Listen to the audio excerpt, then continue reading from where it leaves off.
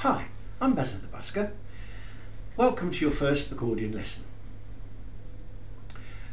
First off, we have to undo the bellows, which is the top strap put over onto this pad there because you mustn't leave them dangling. And the same to the bottom strap.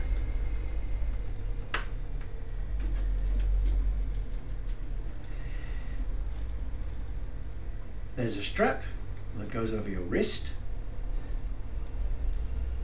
Now you must ensure that it's not too tight around your wrist because you need the movement to go up and down your buttons. But it's got to be tight enough so that it's touching your wrist so that you can pull and push the bellows.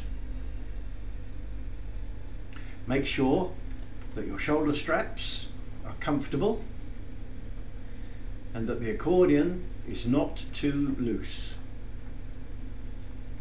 so that it is firmly against you but you must be comfortable. On the left hand side of the accordion at the top underneath the wrist strap there is a button which releases the bellows which enables them to move freely in and out. Some people when they are about to play, give the bellows a little stretch.